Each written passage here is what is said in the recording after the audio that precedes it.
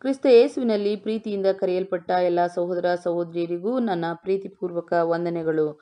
ಈ ದಿನದ ಸತ್ಯವೇದ ಅಧ್ಯಯನ ಸೃಷ್ಟಿಕರ್ತನ ಮಹೋನ್ನತ ಸಂಕಲ್ಪ ಅಧ್ಯಾಯ ನಾಲ್ಕು ಪುಟ ಎಪ್ಪತ್ತ ಒಂದರಿಂದ ಎಪ್ಪತ್ತ ಮೂರು. ಎಲ್ಲಕ್ಕೂ ಪ್ರಾಣ ಒಂದೇ, ಆಲ್ ಒನ್ ಬ್ರೀತ್.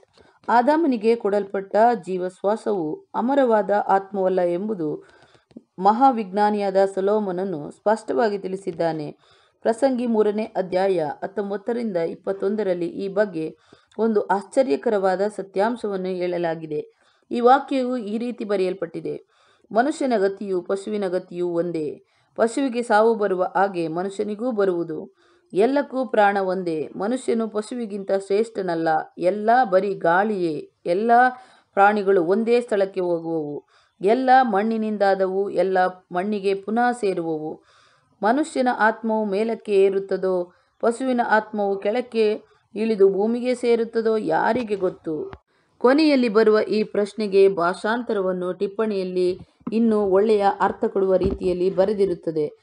ಇದನ್ನು ಉಪಯೋಗಿಸಿಕೊಂಡು ಈ ವಾಕ್ಯಗಳ ತಾತ್ಪರ್ಯವನ್ನು ಈ ರೀತಿಯಾಗಿ ಬರೆಯಬಹುದು. ಮನುಷ್ಯನ ಆತ್ಮವು ಸ್ಪಿರಿಟ್ ಮೇಲಕ್ಕೇರುತ್ತದೋ, ಪಶುವಿನ ಆತ್ಮವು ಕೆಳಕ್ಕೆ ಇಳಿಯುತ್ತದೋ ಯಾರಿಗೆ ಗೊತ್ತು? ಜ್ಞಾನಿಯಾದ ಸಲೋಮನನು ಈ ಪ್ರಶ್ನೆಗೆ ಉತ್ತರವನ್ನು ಆಗಲೇ ಕೊಟ್ಟಿದ್ದಾನೆ. ಜೀವ, ಶ್ವಾಸ ಸಂಬಂಧದಲ್ಲಿ ಮನುಷ್ಯನಿಗೂ ಮತ್ತು ಪಶು ಪ್ರಾಣಿಗಳಿಗೂ ಯಾವ ವ್ಯತ್ಯಾಸವೂ ಇಲ್ಲ. ಎಲ್ಲಕ್ಕೂ ಪ್ರಾಣ ಒಂದೇ, ಅವನು ಮತ್ತು ಅವೆಲ್ಲ ಸತ್ತ ಮೇಲೆ ಒಂದೇ ಸ್ಥಳವನ್ನು ಸೇರುತ್ತದೆ. ಮನುಷ್ಯನ ಶ್ರೇಷ್ಠತೆಯು ಯಾವುದರಲ್ಲಿ ಅಡಕವಾಗಿರುವುದು? ಅಂದರೆ ಅವನಿಗೆ ನೀಡಲ್ಪಟ್ಟ ಅತ್ಯುತ್ತಮವಾದ ದೇಹ ರಚನೆಯಲ್ಲಿದೆ ಇದಲ್ಲದೆ ಮನುಷ್ಯರ ಹೃದಯದಲ್ಲಿ ಅನಂತ ಕಾಲದ ಯೋಚನೆಗಳನ್ನು ಇಟ್ಟಿದ್ದಾನೆ. ಪ್ರಸಂಗಿ ಮೂರನೇ ಅಧ್ಯಾಯ ಹನ್ನೊಂದನೇ ವಾಕ್ಯ. ಹೀಗೆ ಮನುಷ್ಯನು ದೇವರ ಸ್ವರೂಪವನ್ನು ಪ್ರತಿಬಿಂಬಿಸುವವನಾಗಿದ್ದಾನೆ. ಮನುಷ್ಯನಿಗೆ ಸಾವಿನ ವಶದಿಂದ ಬಿಡುಗಡೆ ಹೊಂದುವೆನೆಂಬ ದೇವರ ವಾಗ್ದಾನ ಉಂಟು.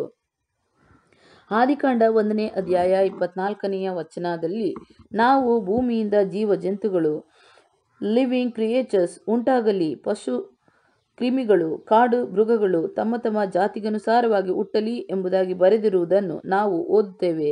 ಇಲ್ಲಿ ಜೀವಜಂತುಗಳು ಲಿವಿಂಗ್ ಕ್ರಿಯೇಚರ್ಸ್ ಎಂಬ ಪದವನ್ನು ಇಬ್ರಿಯ ಭಾಷೆಯಲ್ಲಿ ಇಬ್ರಿ ವರ್ಡ್ ಪದದಿಂದ ಭಾಷಾಂತರಿಸಲ್ಪಟ್ಟಿರುವ ಬದುಕುವ ಪ್ರಾಣಿ ಲಿವಿಂಗ್ ಸೋಲ್ ಎಂಬ ಪದದಿಂದಲೇ ಭಾಷಾಂತರಿಸಿದ್ದಾರೆ.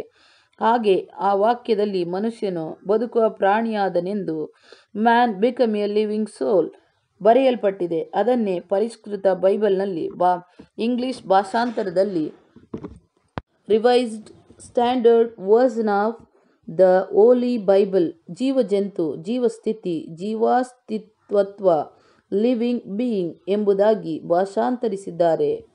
ಆದಾಮನ ಮೂಗಿನಲ್ಲಿ ದೇವರು ಜೀವಶ್ವಾಸವನ್ನು ಊದಿದ ಕೂಡಲೇ ಅವನು ಜೀವಿ, ಜೀವಿಸಿರುವ ಪ್ರಾಣಿ, ಅದನ್ನು ಬಿಕಮ್ ಎ ಲಿವಿಂಗ್ ಸೋಲ್ ಆದರೆ ಶರೀರದ ಮತ್ತು ಜೀವಶ್ವಾಸದ ಯೋಜನೆ, ಐಕ್ಯತೆ ಇದ್ದೇ ಇರಬೇಕು.